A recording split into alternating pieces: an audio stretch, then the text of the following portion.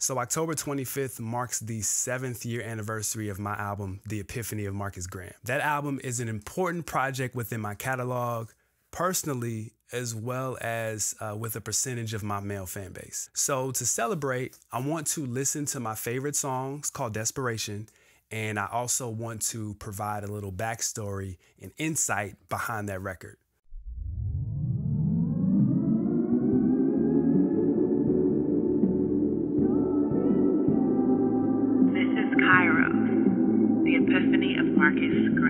God told me desperation was a good thing. That in the right context, it's progress, it's honest. We desire to be made one with another. But the truth is, we can't pursue until we learn that we have been pursued. It's, let me simplify. It's like, can't chase until you've been caught by the fear of losing it all. But if you've never rolled the dice and spin the wheel, you'll never win. If the appeals never touched you, then how can you feel it? Like, how bad do you want it? How bad do you need it?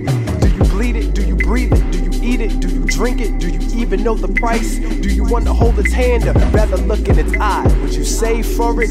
Would you pray for it, slave for it? Chase it for days as your wind right for the pace? It might take a while. You need patience. You may believe the value's overrated. Maybe your lust is tainted. Maybe you get frustrated and see some ways you can change it. Instead of giving grace, you manipulate it. And when it doesn't go your way, you hate it. You resent it. You're offended. You started something you don't want to finish. Your intentions were tinted. How you expect something you'll never perfect?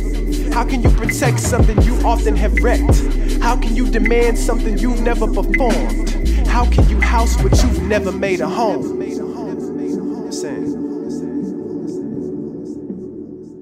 I released The Epiphany of Marcus Graham in a really, really pivotal time in my personal life. The project is about understanding when a man knows he's ready to settle down and get married, right? So, story is I was dating this girl, and up until that time, I had been dealing with multiple toxic relationships.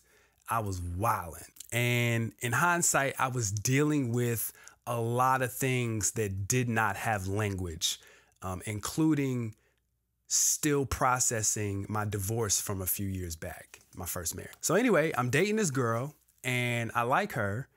And I start praying the prayer and I'm asking God, like, yo, is, is this my wife? And God responded to that prayer pretty quickly, quicker than a lot of prayers that I've prayed over the years. And God's response was Him asking me questions about myself. Was I able to walk through the process developing uh, the type of character that could sustain a successful marriage? and to be honest, I didn't like that response. I simply wanted God to say, Yes, this is your wife, or No, it is not and he did not do that. So this song was an artistic representation of uh, God's response to my prayer and those questions that he was asking me. You know, how bad do you want it? How bad do you need it?